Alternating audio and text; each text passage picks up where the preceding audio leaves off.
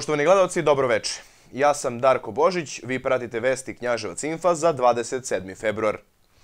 Za sutra je zakazana sednica opštinskog veća. Na dnevnom redu, između ostalog, naći će se teme vezane za Centar za socijalni rad, benzinsku stanicu u Kalni, javno preduzeće Bogovina Bor, izbor direktora javnog preduzeća Sportsko-turistički resursi.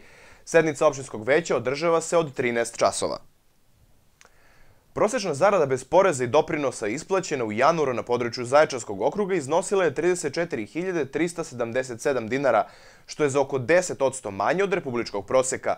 Po visini plate prednjače zaposleni u Sokobanji, koji su u januaru zaradili blizu 38.500 dinara, dok su na začelju liste Knjaževčani sa prosekom od 30.686 dinara. Prosečna plata u Zaječaru je blizu 35.000 dinara, a u Boljevcu 500 dinara manja. Inače, republički prosek je blizu 38.000 dinara, saopštuje Zavod za statistiku. Pre godinu i po dana počeo je sa radom Centar za radno angažovanje mladih u Knjaževcu, koji je za kratko vreme postao značajno, to je postigao je značajne rezultate i postao svojevrstan brend Knjaževca. Veliki broj mladih dobio je priliku da stiče nova znanja i radno iskustvo, neophodno prilikom zapošljavanja. Ovim aktivnostima Centar za radno angažovanje mladih je postavio primjer dobre prakse koji se polako širi Srbijom. Maja meseca 2013. godine počeo je sa realizacijom program radne prakse preko Centra za radno angažovanje mladih. Svaki početak je težak, međutim tim entuzijasta koji je pokrenuo centar savladao je sve prepreke i uspostavio uspešnu saradnju sa javnim i privatnim sektorom – Za učestvovanje u programu radne prakse koji mladim knježevčanima nudi nešto što do tada nisu imali, a to je sticanje radnog iskustva i usavršavanje svog znanja, potrebno je samo prijaviti se na evidenciju centra. Mladi ljudi koji dolaze kod nas i postaju korisnici radne prakse moraju da prođu izvesne konkurse i na tim konkursima ovaj, bivaju birani od strane samih direktora i mentora. Što znači da mi sami ne učestvujemo u odabiru praktikanata, mi jednostavno ugovaramo radne prakse i brojno stanje praktikanata u tim ustanovama, institucijama, firmi. Sada smo došli u situaciji da od ove godine program je, nije krenuo od starta od januara jer je e, zbog promene zakona o budžetskom sistemu e, tražili smo e, zvanično tumačenje Ministarstva financija i dobili pozitivan odgovor. Tako da je ovaj program na radne prakse počeo ponovo od februara da funkcioniše. Program radne prakse je u prošle godini proglašen od strane GIZA i Ministarstva omladine i sporta za najbolji omladinski program u Srbiji. Ova nagrada je dala neophodan vetar u leđa centru da izađe iz okvira naše opštine i polako se proširi Srbijom. Gostujući u našoj emisiji Studio, Bojan Radosavljević, predsednik Skupštine osnivača Centra za radno angažovanje mladih, govorio je između ostalog i o širenju ove knjaževačke ideje Srbijom. Najpre smo krenuli u Boljevcu, a zatim smo naš program preselili u Zaječar, otvorili smo i tamo centar za radno angažovanje, pokrenuli program koji sad broji preko 500 ovaj, korisnika u ovom trenutku, u Boljevcu je to blizu 40, ovaj, tako da je tako krenula jedna lančana reakcija da sad u ovom trenutku, znači recimo u ponedeljak otvaramo centar za radno angažovanje u Kikindi, to kao poslovnu jedinicu koja će biti pod, a, da kažem, našom nekom kontrolom i jurisdikcijom, a, a Kikinda će da predstavlja centar u Vojvodini. Isto tako u Ivanjici otvaramo poslovnu jedinicu u toku marta, sredinom marta ili krajem marta otvara se u Ivanjici poslovna jedinica Centra za radno angažovanje koji će biti glavni distributeri program u ime Centra za radno angažovanje Mladih Knjaževac za Šumadiju i Zapadnu Srbiju. A, isto tako smo napravili priču i sa Trgovište, Valj, Vranje i Doljevac. Tako da smo u ovom trenutku na nekih 14-15 opština sa kojima a, imamo a, ugovorne odnose o realizaciji programa, a, a čeka nas još njih 35, s obzirom da je program Centra za radno angažovanje mladih naš svoje mesto u strateškim dokumentima, to je lokalne akcijne planove za mlade, u preko 55, koliko ja imam informaciju o opština, što znači da bismo mi do kraja juna ili jula meseca trebali da centre otvorimo bukvalno u svim tim opštinama. Opština Knjaževac je krajem prošle godine ponela titulu vice šampiona lokalnog razvoja, Upravo je Centar za radno angažovanje mladih doneo Knjaževcu ovu prestižnu titulu naleda i RTS-a.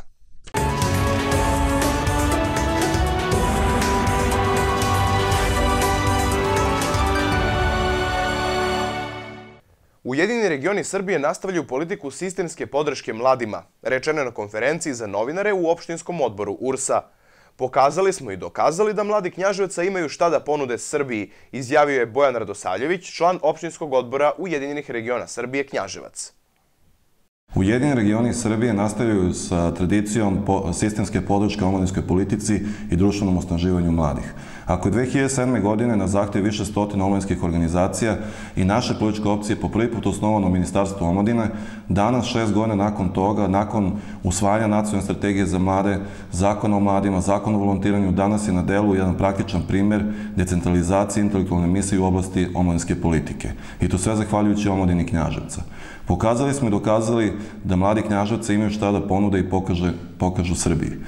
Uh, intelektualni kapital ovog grada uh, ponudio je poslovni brend koji svi hoće da kupe. Izvozimo ga u regionu, na nacionalnom nivou, međunarodnim okvirima. Ponudili smo sistem organizovanog rada nezavisno od države. To je mali, ali nezaustavljivi korak ka poboljšanju položaja mladih u oblasti zapošljavanja. Bilo je potrebno samo malo jedinstva pa da Knjaževac postane epicentar omladinske politike u Srbiji. Ako smo to uspeli u oblasti omladinske politike, zašto ne bismo uspeli u drugim poljima? Mi, mladi knjaževca, mi ne želimo da stojimo u, u redu za život, gledajući Beograd i Srbiju, e, da nam se smiluju. Mi želimo da živimo, želimo da radimo, hoćemo sudbinu svojim rukama jer smo pokazali da znamo. Poštovani sugrađani, mi nismo želi ove izbore, mi smo želi samo da radimo. Ali kad su izbori već tu, dajte nam legitimitet da nastavimo da radimo u interesu knjažaca.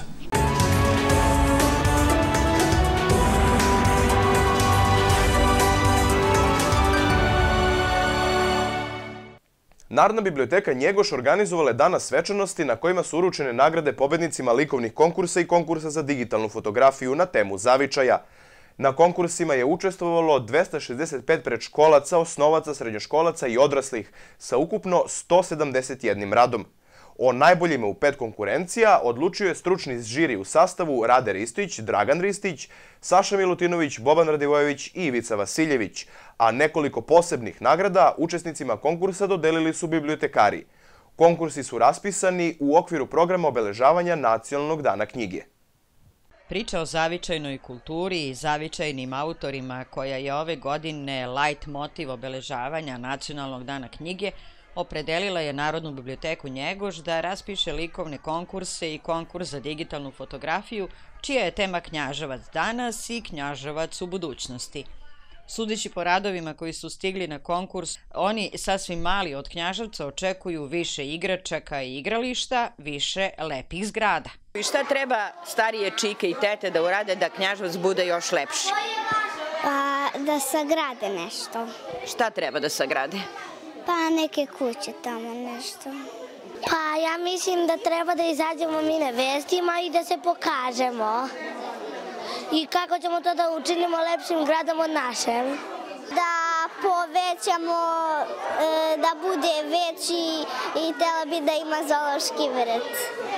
A šta bi volela da vidiš u zološkom vrtu? E, žirafu i slona.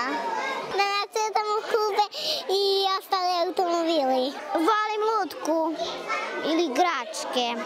Nešto starijima se čini da bi varoš mogla da nam bude čistija. Volim da, volim da idem u školu. Le, više lepše u knjažu da živimo.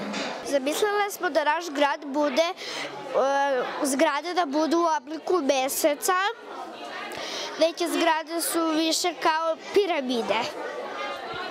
E, ima puno različitih oblika u koje smo pravili zgrade.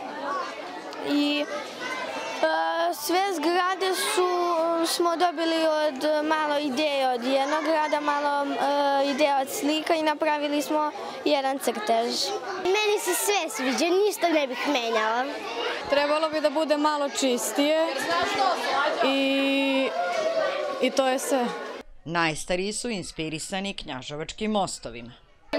Mnogo lepih detalja, ovaj, građevina, mostovi, mostovi najviše. Najviše volim da slikam i tu da prolazim i tako. Na konkursu je učestvovalo 265 autora sa 171 slikom, instalacijom, fotografijom. U okviru programa obeležavanja Nacionalnog dana knjige, najveći, deo, najveći broj programa je zapravo je posvećen zavičaju.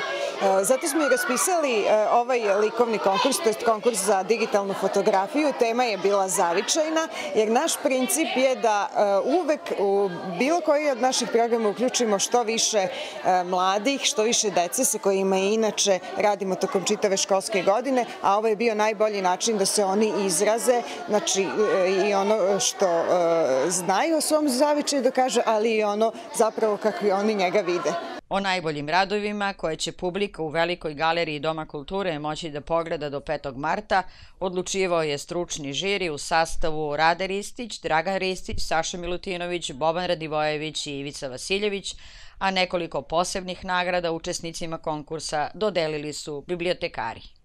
Narodna biblioteka Njegoš i Zavičeni muzej predstavit će u petak 28. februara na Nacionalni dan knjige publikaciju Knjaževac o zavičaju od A do Š. O pojmovniku namenjenom malim velikim zavičajcima govorit će autorke Vladana Stojedinović, Milena Milošević-Micić i Bojana Ilijić i urednica publikacije Ljeljana Pavlović. Scenski prikaz kroz Varoš, svojevrstan javni čas o zavičaju, održat će polaznici nove generacije programa Zavičajni pojmovnik. Promocija će biti održana u Velikoj galeriji Doma kulture od 19 časova. Na okružno takmičenje za književnu olimpijadu na kojoj su knjaževački srednjoškolci ove godine prvi put učestvovali iz knjaževačke gimnazije plasirali su se Silvija Savić, čiji je predmetni profesor Dragan Jovanović, zatim Miloš Milisavljević, Marija Ilić, Katarina Nikolić, Aleksandar Trifunović i Katarina Marković, kao i Katarina Marjanović, Ljubica Stevanović i Milica Jovanović. Predmetni profesor ovih učenika je Katarina Đurić. Učenice Milica Tasković i Ivana Milosavljević prošlogodišnjim plasmanom stekle su pravo direktnog učešća na okružnom nivou. Poliklinika Zdravlje i zdrav život organizuje besplatne preglede sluha. Pregledi se organizuju svakog drugog četvrtka u saradnji sa firmom Audio Vox, koja je distributer slušnih aparata i opreme.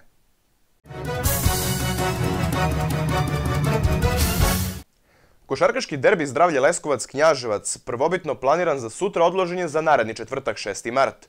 Iz kluba napomenju da ostaje odluka da se za navijač organizuje besplatan autobuski prevoz, a svi zainteresovani sad imaju i više vremena da se prijave u prostorijama kluba u tržnom centru.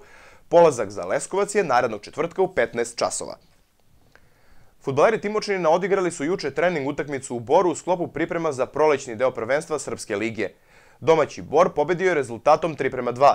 Narednu utakmicu Timočanin igra u subotu u Nišu protiv Car Konstantina. Iz Timočanina informacija da sutra počinje zaštitno farbanje tribina, a u ponedeljak montiranje 700 stolica na gradskom stadionu.